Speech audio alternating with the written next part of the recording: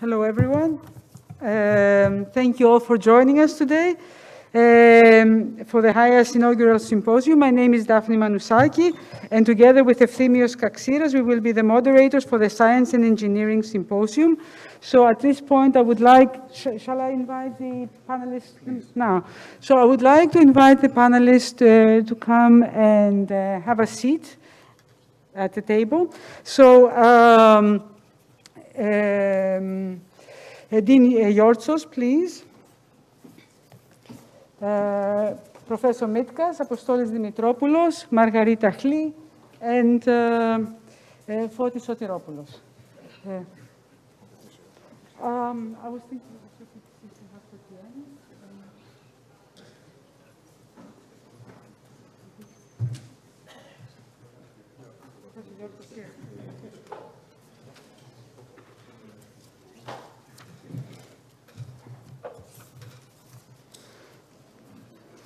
All four sessions today will follow the same format. A keynote lecture will be followed by short presentations by the panelists. After the panel presentations, there will be an open discussion between the keynote speaker and the panelists and the audience, that is all of you, and after which the panelists will make their closing remarks. So um, let's start this morning's science and engineering education session. We are delighted to have Dean Yortsos as our keynote speaker. Um, Yiannis Yortsos uh, is the Dean of the USC Viterbi School of Engineering and the holder of the Kaprielian Dean's Chair and the Dolley Professorship in Chemical Engineering. He is a graduate of the Metsovian Polytechnio in Athens and holds a master's and PhD degrees from the um, California Institute of Technology, all in chemical engineering. He has held appointments as Chair of Chemical Engineering and Associate Dean of Engineering prior to assuming in 2005 the duties of Dean of Engineering. Yiannis was inducted uh, in the U.S. National Academy of Engineering in 2008. He's an associate member of the Athens Academy since 2013 and received the Ellis Island Medal of Honor also in 2013. Since 2017, he serves on the Council of the National Academy of Engineering. Along with two colleagues at Olin College and Duke University, he co-founded in 2009 the Grand Challenges Scholars Program, which received the 2022 Gordon Prize of the National Academy of Engineering. In 2015, he spearheaded a US-wide initiative uh, to enhance the diversity of engineering schools, uh, sorry, I should have taken my mask off. An effort uh, that culminated in the creation of the American Association of Engineering Education of a diversity recognition process now adopted by more than 200 engineering schools in the US. For this initiative, he received the 2017 um, uh, American Science and Engineering Education President's Award. Since 2022, he is the PI of the NSF I-Corps Hub. West region, one of the five such innovation hubs in the US, uh, to promote technology innovation in the Western United States. He's an advocate of Engineering Plus, a vision for engineering as the enabling discipline of our times. Dean Yortsos, thank you very much. It's an honor. Ευχαριστώ πολύ, Δάφνη. Ευχαριστώ πολύ όλους που είσαστε εδώ πέρα. Θα ήθελα να ευχαριστήσω ειδικά τον Πέτρο. Που με, και τον Ανδρέα Μπουντοβή, ο οποίος ήταν εδώ σε μια, φαντάζομαι επιστρέφει, α, για την τιμή που μου κάνατε να έρθω εδώ και να μιλήσω για το Science and Engineering Education. It's a great pleasure. Uh, as the ambassador mentioned, uh, being in Mykonos, actually I am from Rhodos, so we beat Mykonos every day uh, every time of the day in terms of beaches and things like that. Just, just, just, just letting you know. Actually, the next event maybe should happen in Rhodes, Petros. I, I will provide uh, recommendations for places there. Um, my, uh, I have decided to talk a little bit about uh, science and engineering education in general, with some emphasis on what we should be doing here in Greece. I think we can be pioneers in this in some way, as you will see in a moment. I wanted to mention that uh, this is the inaugural symposium. I, see, I suppose I have to push a button for down. goes from here.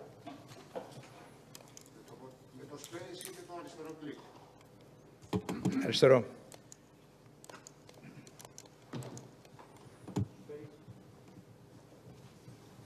Α, συγγνώμη. Έχουμε και αυτό. Got it. Um, as I was looking at the, at the uh, program, I realized that there was a big word missing from the bridges. It was bridges in education, science, and innovation. So added in blue, engineering as well. I'm an engineer by training. I think engineering and sciences are converging. And so it's important to also call out engineering as well, though, because engineering somehow happens to be um, sort of a, ignored a little bit. We talk about science. I think it's important to recognize that engineering and technology are essentially driving our world today, together with science. But I think we should be calling out the word engineering as well. So that's my little contribution to this uh, thing there. Um, back in 2004, the National Academy of Engineering and the uh, National Research Council published a, a report called The Engineer of 2020. Many of us in higher education and engineering read this report very carefully because it shaped the evolution of engineering education in recent years since 2004. Became a dean in 2005, and I remember how important it was for me to articulate a vision for engineering in the United States, in, uh, the United States, in, in my own institution. That was preceded actually by another report called in, uh, in the uh, innovation um, that happened in the United States in the 20, 20th century, and that's actually relevant to the engineer of 2020. The interesting thing is, though, the engineer of 2020 graduated two years ago. And so the question is, what is the engineer of the future? What is the future engineer of 2020? This is a question that's up for grabs right now. I, I know that the National Academy of Engineering in the United States is trying to perhaps create a new report or a new effort in this area. But what about if we actually use this as an opportunity to create the new engineer of 2020 for Greece? What about if we put together a group here and try to understand what should be the attributes and the education necessary for the engineer of 2020, the Greek engineer of 2020? That's actually a, a proposal that I'm making here as part of my contribution. I will make one more proposal in a moment. and I will discuss possible building blocks for this. And many of them will involve grand challenges. The word grand challenge came out as part of the conversation that we had earlier on here. I think grand challenges will become important because purpose is something that's becoming more and more important on what we do in our life. Choosing goals is an ethical decision. And when the, whatever goals we choose reflects what is our ethics and what's our determination. And therefore, the next question will be, what are the challenges for engineering in Greece? These are essentially creating a roadmap, and this roadmap will also be able to allow us to think about the connections and the bridges that we can have between the US or the world and Greece itself. I think these are two issues when I was elected into the uh, uh, Academy of Athens as Antepistellon Melon, I actually posed the same question then. What are the grand challenges for engineering in Greece? I did not get an answer for the last nine years. Hopefully we'll be able to come up with something that says, these are the big grand challenges. Without setting these big grand challenges and goals, I think we will miss a lot of opportunities to develop systematic things to move ahead. And I know that these are not easy things to do because there are politics, there are policy issues associated with that. But I think it's a very important opportunity for us to pursue. Um, because I may run out of time, I just give you the summary of my presentation here. Some of the key considerations. I define technology and engineering in a very simple way, leveraging phenomena and creating knowledge. This is actually what we do as engineers. We not only, and scientists, we create knowledge, but also we leverage phenomena for useful purposes. And there is a convergence associated with that because a single discipline does not alone, is not able alone to create these phenomena and create synergies. The second is what I call the four buckets, and this is sort of a Maslow's hierarchy for the planet. There's a Maslow's hierarchy for individuals, which is, you know, how individuals progress from being safe, secure, healthy to uh, enjoying life. And I think the same thing applies to what we do in a field like engineering, in a discipline like engineering, and sciences as well. A third very important question, and I think this is clearly clear to everybody, is that the world is moving exponentially fast. Now, in the absence of uh, geopolitical uh, disturbances, wars, and so on and so forth, if we let innovation proceed, it will not only go exponentially fast, it will go even faster than that. And I have a theory for this, which I will show you in a moment. This requires purpose, this, and because of this technology, which is exponentially fast, you can be, therefore, solve big problems. And that's actually the opportunity ahead of us. How do we use this tremendous power that we have in order to solve problems?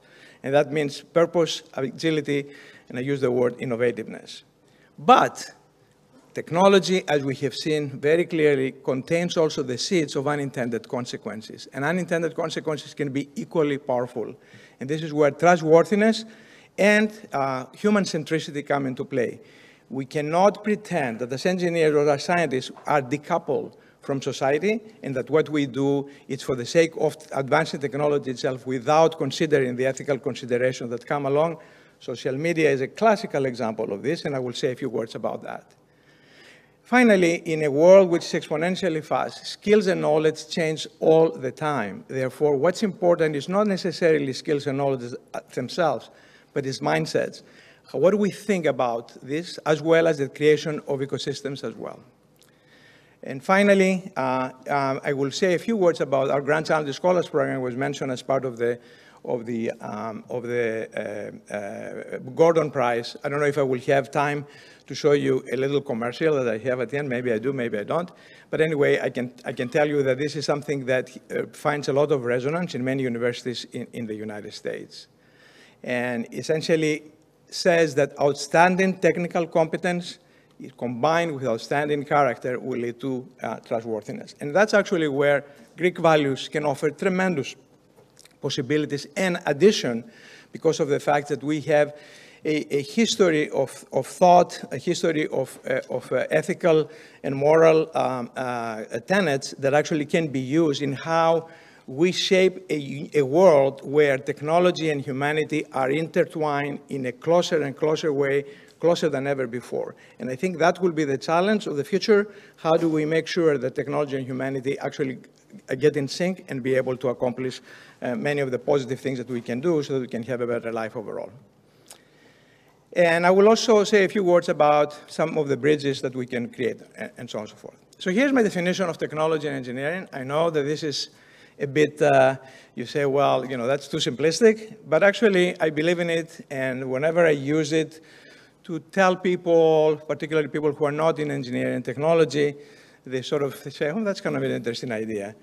That's leveraging phenomena for useful purposes. So this is the way I define the, the world that we're living in.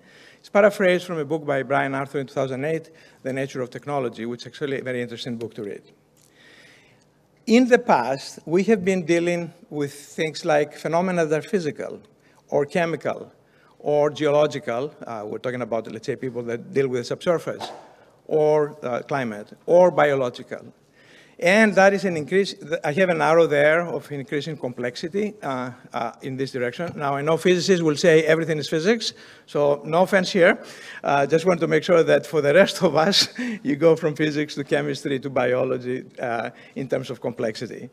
Um, and the most complex of all is social and behavioral. And I think social and behavioral becoming part in many different ways of what we do as engineers, particularly computer scientists, the use of data science, the use of AI, is getting closer and closer to understand social and behavioral phenomena and, and, also be able to leverage this for useful purposes.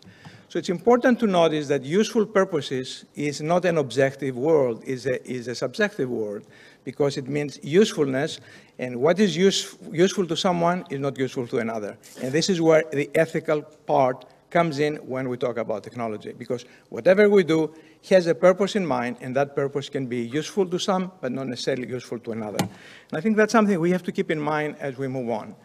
By the way, phenomena uh, means also systems and devices and tools and combinations. And by purposes, I, I, and also, uh, purposes also include the discovery of new phenomena, which we do at the interface between science and engineering.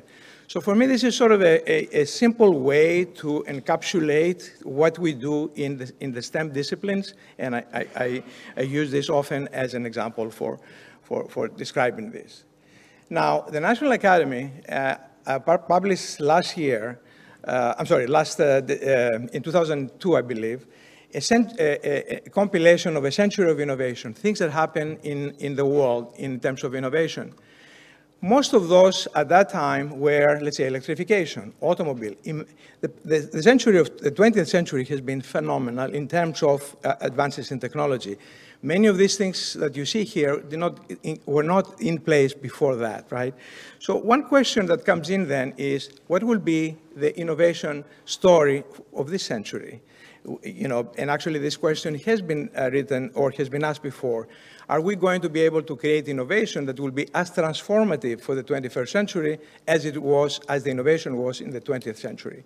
And that question has been asked by economists, by others as well. Is it possible that solving big grand challenges will be the big innovation of, the century? It uh, dealing with th things like climate change or Uh, uh, uh, the end of illness, as some people talk about, uh, in, in, the case of, for example, medicine? Are these the, the things that we have to start focusing on in some different way as well? Let me talk to you a little bit about what I call the four buckets.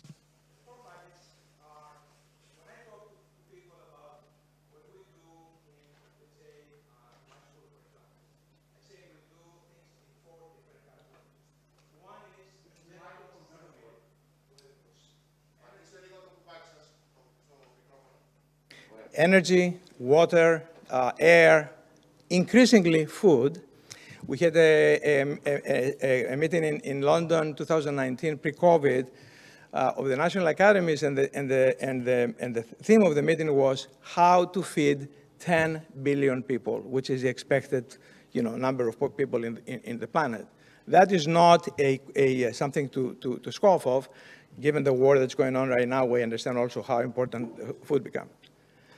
Second bucket is security. By security, I also include here national security to some extent, because part of the security is also infrastructure, cyber security, protection of privacy, for instance, at the same time also uh, um, uh, uh, protecting from nuclear terror, which is a, a possibility not too long into the, into the future, perhaps.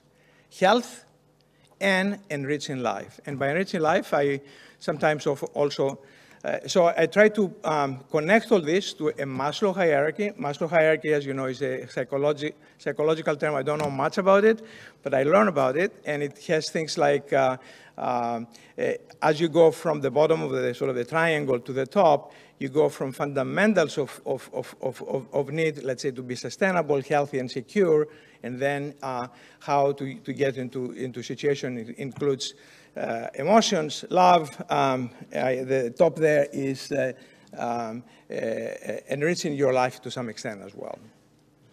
And behavioral and societal aspects actually are part of enriching life. What we do a lot with, let's say, new computing technologies, essentially it enriches life because it allows you to do so wonderful things, uh, connect with the internet, uh, connect with other people. They're all things that relate to, to, to the connection that we do uh, in life. In the 2008, uh, the National Academy articulated specific grand challenges in these buckets. I'll read for sustainability, make solar energy economical, provide energy from fusion. Provide energy from fusion will solve all our energy problems. Of course, it's a, much, it's a very tough problem to solve. Uh, develop carbon sequestration methods. At that time, it was uh, still, you know, fossil fuels was important. Managing the nitrogen cycle.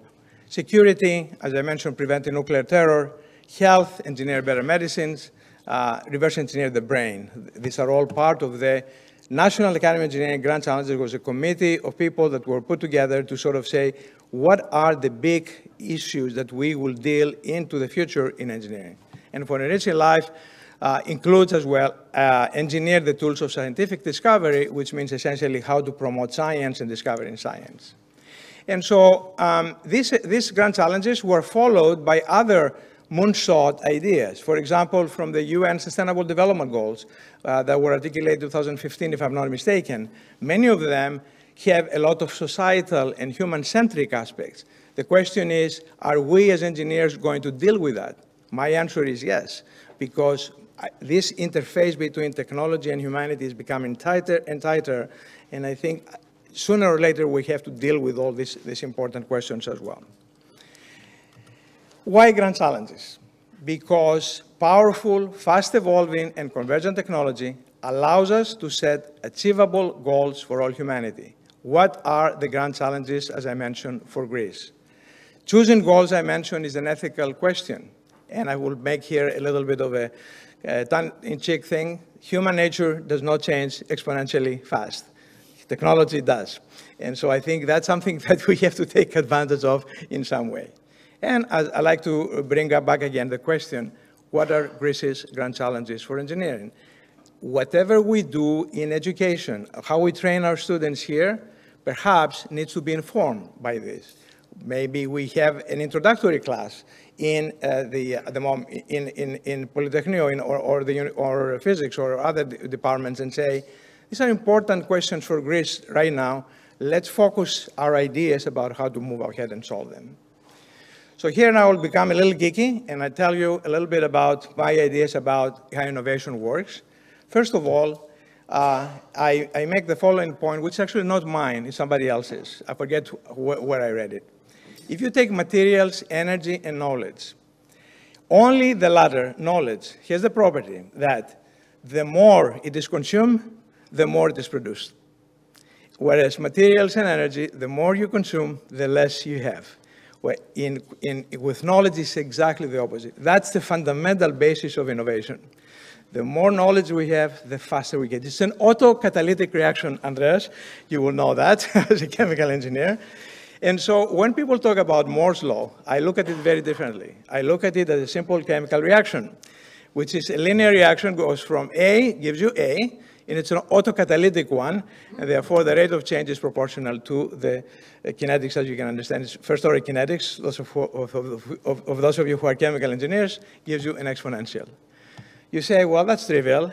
Well, what is actually non-trivial to some extent is that if you put quadratic kinetics, in other words, it takes the collisions of two such innovations to produce something new. The rate of change is actually kinetics goes to the power of two, and that gives you a singularity. Those of you who are familiar with Kurt, Ray Kurzweil, he published a book called uh, The Singularity is Near. He's a chief engineer for Google, who says that the world changes not simply exponentially fast, but actually it's approaching a singularity at some point in time. Now, Kurzweil has never told you what that time is going to be. He, at, at the beginning, said it will be 2000, uh, 2030. Now I think it says 2035. Maybe it's uh, later than that. However, when you look at the tremendous innovation in AI and machine learning and all that, we are not too far from a, a new world where we are actually a lot, going a lot faster than before you can see how dramatically AI is actually penetrating pretty much everything that we do and how we have to rethink our, the way we think in terms of and educate our students by also incorporating this in their conversation. So this is my geeky part. I thought that being in a, in a, in a group of, uh, of uh, people like you, I should mention it, and that would be the end of, of the geekiness with respect to that. Now, if you look at an exponential world that changes exponentially fast, and that's the, the technology as a function of time here, and I just plotted here a, a, curve here.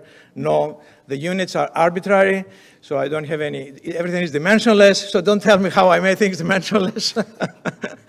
I have a, a, curve here. What I'm trying to say here is that the world does not change this way the world changes along the tangent. We are able to extrapolate linearly, but we cannot extrapolate in a way that's exponential. What does this create is it creates a, a deficit of trust because the so society, politics, governments work in this direction, technology moves in this direction, and because we have this gap, there is a trust a deficiency that, that, that needs to be, to be, to be uh, um, uh, bridged. And I think that's another part of trustworthiness that I want to talk about for our students and for us to understand that this is a simple uh, explanation for a lot of the things that happen in the world today. The anti-vaxxers, the people that believe in this and that, the, the conspiracy theories and all this, I think is a result of the fact that we are over here as scientists, as engineers, the world is over here. And I think this, being able to capture this gap is very important. In addition, what it says is that we cannot simply rely on knowledge and skills, but we have to, start thinking in terms of mindsets and the creation of ecosystems. Why is that? Because let's say AI today is a phenomenal technology and everybody knows about it. How do you know that five years from now, there's going to be no, a new technology that will be even more powerful or more faster than that? We cannot understand that unless we have the, the flexibility and the agility to make that change. So when we talk about synergies, opportunities to connect and everything, I think we should challenge ourselves not to think ourselves as being behind something, but actually to try to create something new, perhaps, that can help us move forward because we are all, in a sense, have the same opportunity to make this change. And I see this, this, this uh, uh, um, uh, organization here today as an opportunity to actually take advantage of that. It's up to us to, to, th to think this way in a bold way and say we can set the, the trend in this particular way. And so I just wanted to just give you uh, a little bit of that. We talk a lot about innovation. Many of you know how this works. Without innovation, the impact is minimal. And by innovation, we mean that taking the, the idea, taking the, the patent, taking the uh, technology development, the IP, and making it in practice. Um, um, we, many, many university institutions, and I hope that we can implement something similar to this in our institutions here, is having this um, sequence of, of seed, of, of nurturing, of um, uh, validating, launching, and accelerating, which is sort of the, the, the, cycle of innovation that happens and then be able to, to be successful. So, in fact, um, I mentioned, it was mentioned in my very long introduction out there. I'm leading an effort uh, based on the uh, I-Corps model of the National Science Foundation, which is based on lean startup methodology, which a methodology was invented at Stanford, that allows you to essentially take ideas much faster. This is a simple training that can happen to pretty much every student and we do this in our own institution. I think it can happen here in all, all, all, universities and it may be happening as well, I'm not sure, to allow us to get our students understand that under having the knowledge and the skills is not sufficient if you want to have an impact and be able to see how you create this impact. And as I said, I don't want to uh, uh, pay injustice to things that may already be happening. Um, I will close with a, a, a, a, um, saying a few things about technology ethics. Whenever we do something, uh, let's say a startup, a new, a new entity, we always work at the intersection of smart, legal, and ethical. Clearly, you don't start something which is not smart, then nobody's going to support you.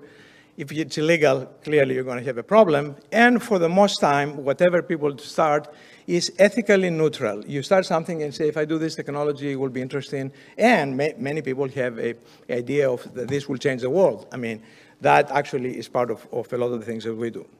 But, and these are goals driven by values, but we have unintended consequences. And the more, the, the more powerful the technology, the more powerful the unintended consequences. So we cannot not thinking, not think about the fact that there will be unintended consequences. And uh, this, because this will affect policy, legislation, politics, and all that. And I think uh, if, you, if I were to sketch what's going on, let's say from something that starts at the intersection of smart, ethical, and legal, often bifurcates. Some of it stays in the core, and it's the, the technology that provides all the the, the, the, the, it's very useful for society at large, and then you have these branches out here that branch outside of the ethical part, and I think this is where we have to be, uh, uh to not only understand it, but perhaps be able to uh, anticipate it, possibly, I'm not sure. And that actually provides yet another uh, component that our students need to know. Traditional engineering education, when I was at Polytechnio, I took two non-engineering courses. One was on logic, non-engineering course, and the other was on some economics. Uh, to be honest with you, I don't even remember what it was about. And these were the only two courses we, we took outside of the technical stuff. Now, did this uh, bother me? to be honest with you, the high school education we have in Greece does a phenomenal or did a phenomenal job in teaching you ethics, values, and all that. And I don't know what's the situation today with respect to the training of students, or training, how our students learn about history and, and values and all that. But I, I, want to make sure that this is something that is important. Uh, finally, I believe that society will demand trustworthiness from all our students. Now, what is trust? Trust can be separated in two components, competence and character. You don't want to trust someone who's incompetent, but has the best character. You have a pilot who doesn't know how to fly the plane, but is a wonderful person. you don't trust this person. Conversely, you don't want to trust a, a, a, a, very competent pilot who is a bad character to some extent. So this four, four cores of credibility. This is from uh, Steve Covey, The Speed of Trust. One is capabilities, talent, attitude, skills, mindsets, results, performance, and so on and so forth and the other is character, integrity, humility, courage, intent, motive, agenda, behavior. I think these are things that in Greece we have a tremendous repository to think, to use this as a, and be actually a model in how we train our students and how to engineers to be able to create this trustworthiness that is be, becoming increasingly absent from, from the world that we live today. And I think this has to do with the fact that technology is moving so fast, the world does not respond equally fast, and you create this gap. So I'm just putting this as an idea. So five ingredients for engineering education. Superb te technical skills and knowledge. I call it hug the exponential. So if you Google it, probably it will take you to, to, to, to, something that I wrote about hugging the exponential, staying with the exponential and also shaping it particularly in modern computing technologies. Computing technology is becoming the essential part of what engineers, uh, uh, the fundamental skills of engineers today. And this could be AI and machine learning, data sciences, possibly quantum computing. Quantum computing is coming along much faster than we, we, we, we think. Uh, could be quantum sensing, com communications, other things possibly quantitative and computational biology, which is another important part for medicine and health, right? So I think our students need to have exposure to this. And this must become probably a standard requirement as calculus. We pay a lot of attention to calculus, and as, you know, for good reason, these things perhaps need to change. Convergence, which I, which I call engineering plus, and interdisciplinarity. Now, many, uh, more, many universities in the US, obviously, because they have humanities and social sciences and others, the business schools and, and the like, this convergence happened for obvious reasons. In a, in a, in a place like, like the, the, uh, in Greece, let's say, where technical uh, polytechnia are somehow different, separated from it, we have to create those bridges. I, I, don't see how we can move on without creating those bridges or be able to, to, to do this in an effective way, both within STEM and outside. I mentioned innovation and entrepreneurship. Understanding human nature and cultures, that's important as well, because aligning goals when the interface of technology and humanity is increasingly intertwining, intertwining is very important, and obviously societal impact. In the United States, societal impact is becoming even more important because there are so many tensions about uh, issues of diversity, inequities, you know, populations that have been marginalized and the like. Maybe there are here in Greece as well. I'm not sure. I don't, I'm, I'm not current of, of, the things that are going on. So I believe that as we think about the engineering education uh, and what are the, the, the components of that, we should keep in mind all these components, which is not simply the fundamental, strong technical part, which I think all of us uh, have, been, have benefited in a very significant way, but start thinking also in a bigger way as well. Um, so let's create the engineer of 2035. I said here for Greece, so I, I created over there, and see how we can do that. Uh, I volunteered to help. um, the Grand Challenges Scholars Program, I'm done in one minute, was conceived in 2009, essentially has this uh, aspect. It's a research, creative, multidisciplinarity, entrepreneurial, cultural, and society conscious. So what I just gave you is a bit of my thinking about how engineering education should proceed. By the way, this is not all curricula based. This has a lot of extracurricular activities. That's something that universities have hard time dealing with because the question is, do they get credit They don't get credit? Do they pay tuition? They don't pay tuition. These things of this type that are all technical, but for our students are remarkable. Our students will get together, create startups, do things like this, and they don't care about this is part of the curriculum or not. And I think we have to create these ecosystems and encourage them to be able to be successful. I heard some very, uh, very positive news here from all kinds of different things as well. So this particular program uh, received the, the, the Gordon Prize of the National Academy this year. Uh, I had a video, but my time is, uh, is, is, is over, so I will just stop here. And I just wanted to uh, thank you for, for your attention. I have a very quick uh, creating bridges idea. The internet is allowing us to do so many different things. Plus, the COVID demolished and shattered ideas about how you, you, collaborate. It's so easy nowadays to do joint classes. Actually, we have been at USC, we have, have a platform, a technology platform we call iPodia, that we partner with 12 universities across the, across the world, and we share classes. A class is taught by a professor. It's taken by both students from both sides. Nobody changes money. It doesn't cross. There's no tuition exchange or anything like this. And students can benefit together. For example, we have a class with a Technion. I'll just give you an example of that. Uh, we have with uh, Tsinghua University, other places.